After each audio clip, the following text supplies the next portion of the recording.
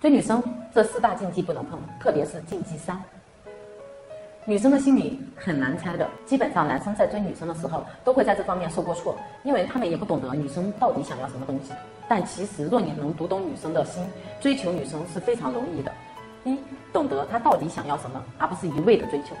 基本上，男生追女生会有一个误区。他们认为只要追的时间长，就一定会感动她，但其实并非这样。有的女人她欣赏男人的品质，有的女人她欣赏男人的责任心，这些都是不同的。所以，想要追求一个女生，你要懂得她到底喜欢什么样的男人，欣赏什么样的男人。懂得这些，说不定你追求女生的难度会减少不小。二，只会迎合对方。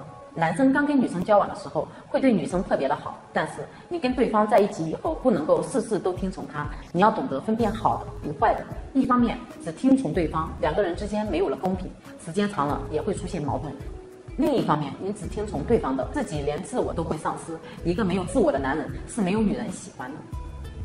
三，没男子气概。现在社会市场可能发生了变化，男人都往小鲜肉方向发展。但其实女人更喜欢那种有男子气概、有责任心的男人，那种动不动就哭哭啼啼的男人，还有喜欢化妆的男人，最让女人厌烦。女人就想找那种能够保护自己、能给自己的未来负责任的人。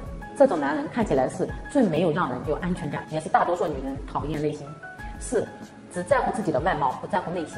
所谓一见钟情，都是看对方第一面的。其实看对方外貌并没有什么，但是只看这两个人的感情是走不长的。因为在以后相处过程中，更看重的还是对方的品德、性格以及各方面。